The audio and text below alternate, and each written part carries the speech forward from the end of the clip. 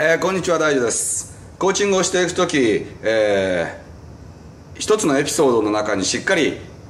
入っていってそのエピソードを体験するっていうのはあのすごく大切なことです。であの全体ファーって流すんじゃなくて過去でも現在でも未来でもいいから一つのエピソードをしっかりと体験してで自分ってどんな人間なんだろうか自分は何を求めてるんだろうか自分の周りでは何が起こってるんだろうかってことをしっかりと知っていくこと。やっぱり注意深く見て注意深く感じてそこから何かヒントを抽出していく。そのことはすごく大切なことです。でそればっかりやってると実はコーチの視野も狭くなっちゃうこともあります、えーコーチの視野はとにかく広く、えー自分たちがこう鷹とかワシになったような気持ちで全体をこうわーっと見ながらあここに何かヒントがあるんじゃないかなというところにヒュッと降りていく。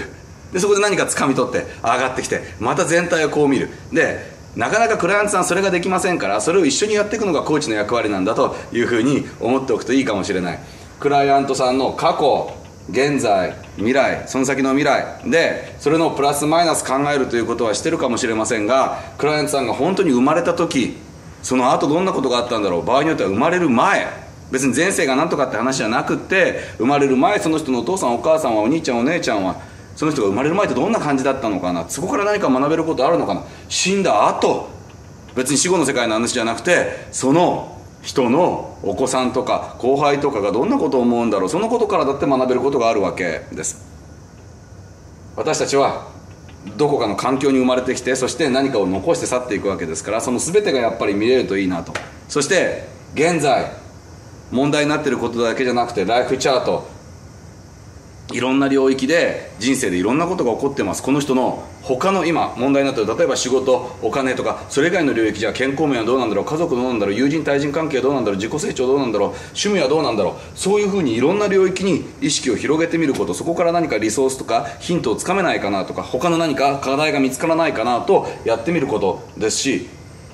クライアントさんをやっぱり大きな視野で見て今大変なことがあったとしてもそこからどうやったら成長曲線描いてだんだん進んでいけるのかどこにどんなリソースがあるのかしっかり全体を見ていく。クライアントさんの人生の周りではどんな人たちがどんな風に生きてるのかいろんな人のタイムラインとその関係性クライアントさんとの関係性というのも見てみよう。非常に大きな視野ですよね。でこういう視野でクライアントさん捉えられる。そしてクライアントさんが変わっていった時にクライアントさんのライフチャートはどう変わるんだろう。そしてその時にはどんな生活がここにあるんだろうか。